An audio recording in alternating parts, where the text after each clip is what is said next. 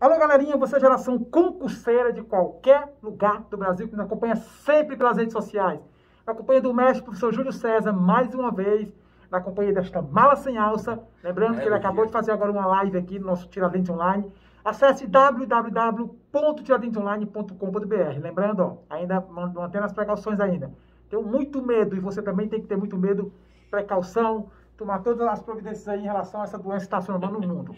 É Professor Júlio César, Quais são os direitos do contribuinte que contribui como CI, como facultativo, como segurança obrigatório, o que eles têm direito e quais são as vantagens de ser um contribuinte da Previdência Social? Pronto, vamos fazer o seguinte, é, nós temos dois segurados que são responsáveis pelo recolhimento da sua própria contribuição, que, que no caso contribui através do carnê.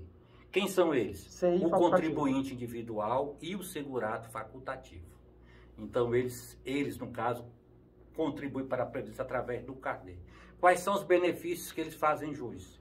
Caso fiquem incapacitados temporariamente, o auxílio por incapacidade temporária. Caso fiquem incapacitados permanentemente, aposentadoria. Caso implementem a idade mínima, regra geral, o homem 65 anos, a mulher 62, né? Ou, ou então 60, 61, porque tem a transição ainda para algumas, aí pode se aposentar por idade e se pagaram a previdência durante 15 anos, 180 meses, aí podem se aposentar por idade, por tempo de contribuição, caso tenha implementado as condições antes da emenda. É, se ocorrer um parto com essa mulher, ou então se esse homem adotar uma criança e está pagando o carnê, terão direito ao salário maternidade. Caso haja uma prisão ou então uma morte desse contribuinte. Pensão por morte, auxílio Aí a pensão por morte, auxílio, reclusão. Então esses segurados, eles estão protegidos, ok? Então, basicamente, quais são os benefícios que eles não terão direito? Benefício decorrente de um acidente do, do trabalho, mas aí não, não terão direito ao benefício acidentário, mas terão direito ao benefício previdenciário. previdenciário com certeza. Aposentadoria especial também não terão direito. O salário família. Então, basicamente, a diferença é essa. Só para lembrar uma coisa aqui, pessoal, rapidinho. Quando você falou há pouco tempo, eles também têm direito à aposentadoria por tempo de contribuição. Tem direito. Se eles fizerem a complementação. É, é exatamente. Se eles implementaram as condições antes, da, da, emenda. emenda aí, para eles utilizar esse tempo, se ele contribuía com a alíquota menor, né? Exatamente. Se ele contribuía com aquela alíquota de 5% sobre o salário mínimo, ou então 11% do, do, do salário mínimo, aí eles precisam fazer a complementação. Até chegar a 20%. Até chegar aos 20%. Vamos lá, basicamente isso. Aí, então, basicamente, esses são os direitos do segurado contribuinte individual e facultativo ok? A nossa realidade, o que é que diz? Geralmente quem paga o carnê termina contribuindo com um valor menor, né? menor. né? Menor. Então isso aí protege aqueles, aqueles trabalhadores e aquelas pessoas que não têm atividade remunerada de menor renda, porque essas pessoas geralmente contribuem sobre o valor do salário mínimo, né? Agora, se o segurado ele é o empregado, se ele é um empregado doméstico, se ele é um trabalhador avulso. Aí, além da contribuição própria do segurado, tem a contribuição que é feita por quem? Pela empresa, empresa pelo empregador. Então, como eles têm a contribuição também da outra parte, eles terminam tendo direito a mais benefícios. Que mais benefícios seriam esses, no caso? Seria o salário família, auxílio seria acidente. auxílio acidente, seria aposentadoria especial para quem tem um ambiente insalubre. Então, qual é a lógica?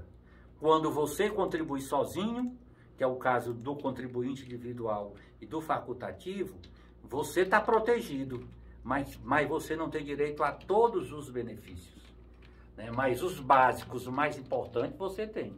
Agora, quando tem a, quando tem a sua contribuição de segurado e tem a contribuição também da empresa, do tomador do serviço, aí você passa a ter direito a mais benefícios. Então a previdência social ela é muito importante. Porque ela protege as pessoas. Eu vejo isso todo dia. jovens de 18, 19 anos que sofrem acidente de moto. Muitas vezes não pagaram previdência, não estão pagando previdência. 5% do salário mínimo tem um acidente, ficam com sequelas. Ficam, ficam descobertos, não ganham Ficam nada. descobertos, ficam desprotegidos. É uma situação que, que a gente vê, e muitas vezes por desinformação, entendeu? Porque você pode contribuir para a Previdência Social com a menor alíquota de 5% sobre o salário mínimo. Tem pessoas que trabalharam a vida inteira e estão há dois, três anos sem pagar a Previdência e perderam a qualidade, estão desprotegidas, né? Eu acho que aí era até dever da Previdência Social emitir comunicado para essas pessoas, alertando para que elas paguem um mês, para que não fiquem desprotegidas, porque os riscos sociais hoje são muito grandes. É, acidente automobilístico, é bala, é faca, é pandemia. Tudo de ruim. Tudo de ruim. Então a gente pensa que não acontece com a gente, com os parentes da gente, e, e, e, e tomara que não aconteça, mas existe o risco de acontecer, porque se acontece com os outros, não pode acontecer também com você. Prof, e para finalizar, vamos falar, finalizar com o MEI. O MEI, microempreendedor individual, É, o, micro, direito. é, o microempreendedor individual, é, o governo como uma forma de estimular o microempreendedor, né? É, é, possibilita que ele contribua com alíquota menor, né? Que ele contribui basicamente com 5% também do salário mínimo, né? E ainda tem uma quase isenção do, do- de vários tributos aí. O que ele tem direito, o MEI? O MEI tem direito auxílio por incapacidade temporária, auxílio por incapacidade permanente, Permanente. salário maternidade, aposentadoria por idade e por tempo, pode deixar auxílio reclusão, pensão, salário maternidade. salário de família também? Não, salário família só tem quem tiver, além da contribuição dele, tiver a contribuição da empresa Da e do empresa. empregador. Então, quem é que tem direito? Empregado avulso e empregado doméstico. Muito bem. Professor Júlio César, mais uma vez, muitíssimo obrigado pela sua Estou sempre à sua disposição de vocês, dos nossos espectadores aí. do- Ele é muito do nossos- falso, porque ele, nossos- ele vem gravar por livre espontânea pressão. Eu tenho que chamar ele aqui. Eu meio digo logo mesmo. Mas enfim, por livre espontânea pressão, ele vem gravar. Estamos aqui, gente. Olha, você está começando a estudar agora. Olha só. é, muito se fala nesse possível concurso para o o INSS 2022. Então, ainda dá tempo. Comece. Faça seu cronograma de estudo. Não espere pelo amanhã. Faça de hoje. Tira um tempinho de uma hora, duas horas. Faça uma leitura básica. Vai estudando matéria por matéria. Vai nas suas maiores dificuldades. Tem dúvida? Tem vários tipos de, de meios para você tirar dúvida. Tem canal, tem canal aí na rede social, como o YouTube.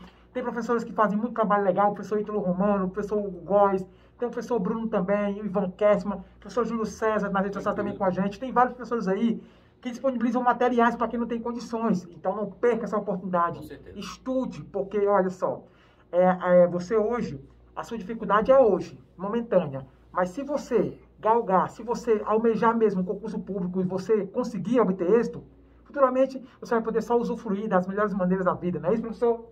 É. Geração concurseira. Colégio de Concurso, professor Júlio César, antenados 24 horas. Valeu, tchau, tchau. Vem tirar dentes. Ventos Conquistas começam aqui, valeu!